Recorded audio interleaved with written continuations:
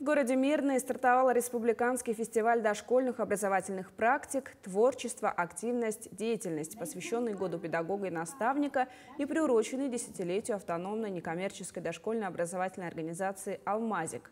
В течение трех дней участники фестиваля, педагоги представят свой опыт, авторские учебно-методические материалы по воспитанию и обучению детей.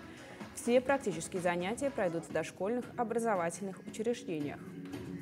Приехали у нас специалисты из Екатеринбурга, это которые будут показывать э, и обучать нас мультимедийным э, интерактивным оборудованием, которое мы, у нас и есть в детских садах, но мы еще планируем приобрести. Они как раз покажут новые новинки э, и также обучат тому, что у нас уже есть. Это будет такой обучающий, познавательный мастер-класс.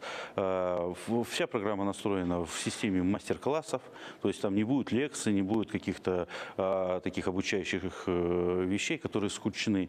Э, потому что задача наша все-таки это дать образование детям в игровой форме, в интерактивной форме.